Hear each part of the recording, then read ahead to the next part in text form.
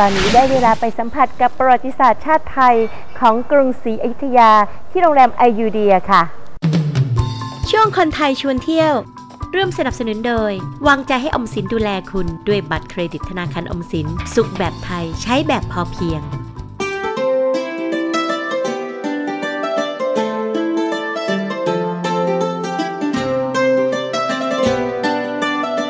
คนไทยชวนเที่ยววันนี้อิงพาท่านผู้ชมมาสัมผัสอาณาจักรเก่าของประเทศไทยนะคะ ซึ่งเคยรุ่งเรืองมาอย่างยาวนาน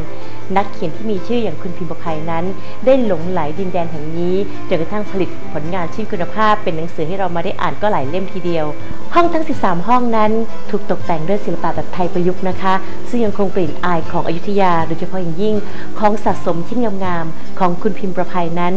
ล้วนถูกตกแต่งอยู่ในห้องต่างๆ ซึ่งแต่ละห้องนั้นก็ไม่เหมือนกัน เพราะชื่อของแต่ละห้องนั้น ตั้งตามบุคคลสำคัญนะคะ ซึ่งมีอำนาจและบทบาทอยู่ในยุคสมัยกรุงศรีอยุธยาค่ะ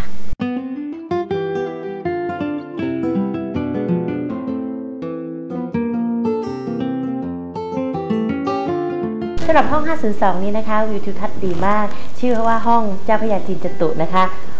พระยาจินจตุนั้นเป็นขุนนางแห่งราชสำนักกัมพูชานะคะ เข้ามาสืบราชการลับโดยการ ส่งกองทัพเข้ามาปล้นที่เมืองเพชรบุรี ในปีพศ 2121 แต่ไม่สำเร็จนะคะ ก็เลยขอสวามิภักดิ์กับสมเด็จพระนเรศวรภายหลังสมเด็จพระนเรศวรทรงตระหนักดีนะคะว่าพระยาจินจตุไม่ซื่อเข้ามาสืบราชการลับ พอพวกเขาทราบก็นั่งเรือสำเภาหลบหนีการจับกลุ่มค่ะห้อพระยาจินจตุนี้นะคะ ยังคงมีกลิ่นอายของชาวจีนอย่างชัดเจน ไม่ว่าจะเป็นบานประตูแบบไม้ที่มีการแกะสลักแบบจีนนะคะ หรือกระเบื้องเคลือบแบบกังใสนะคะ และก็นี่ค่ะ ไหมทอปักลวดลายแบบจีน ถ้ามาแล้วอีกและคอมเมนต์นะคะ ห้อง 502พญาจินจันตุห้ามพลาดค่ะ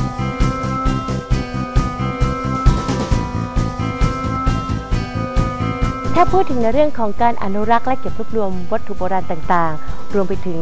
การเก็บข้อมูลของนักเขียนชื่อดังคนเก่ง อย่างคุณพิมพ์ประภัยนะคะทำให้เราได้สัมผัสกับสถานที่แห่งนี้ กับฉากหลังของวัดพุทธไทยสวรรค์ และความเงียบสงบของริมแม่น้ำเจ้าพระยาโดยเฉพาะยิ่งนะคะ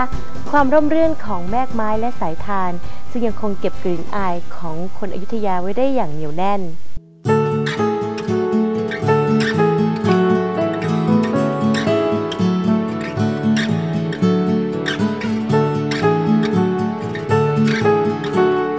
ไอยูเดียคุณจะได้สัมผัสกับโบราณวัตถุที่คุณจะได้ชมอย่างใกล้ชิดเลยนะคะ ศิลปะแต่ละยุคนั้นเจ้าของเขาไม่ห่วงเลยนะคะ คุณพี่พิมพ์ประภัยนั้นวางให้เราได้ดูจับต้อง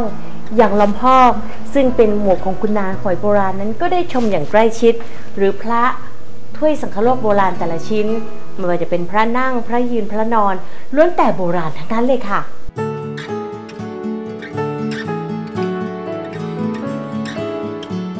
อย่างภาพวาดจากลายเส้นของท่านอังคารกาลยานพงศ์หรือแม้แต่พระยืนองค์นี้นะคะ ก็จะเป็นศิลปะอยุธยาเก่าเลยค่ะ แล้วถ้าคุณโชคดีนะคะ จะได้พบนักเขียนที่เก่งกาจอย่างคุณพิมพ์ประภัย ซึ่งเขียนหนังสือทั้งสองเล่มนี้นะคะ จะได้พบปะและพูดคุยสนทนา เรื่องราวเก่าๆที่เธอเขียนถึงความเป็นมาของอยุธยาค่ะ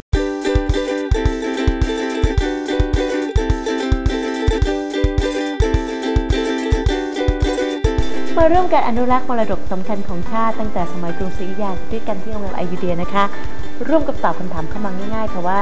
โรงแรมไอยูเดียนั้นมีห้องทั้งหมดกี่ห้อง ข้อ 1 18 ห้อง ข้อ 2 17 ห้อง หรือข้อ 3 13 ห้อง ทราบคำตอบและส่งคำว่าที่ดอกจัน3 3 6 0 8 8ฝากคำตอบไว้นะคะ แล้วสัปดาห์หน้ามาลุ้นกันนะคะว่า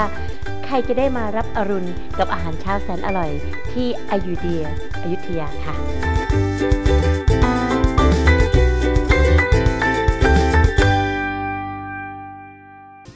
ร่วมสนับสนุนโดย The Wisdom Plus ศูนย์นวัตกรรมเพื่อสุขภาพและความงาม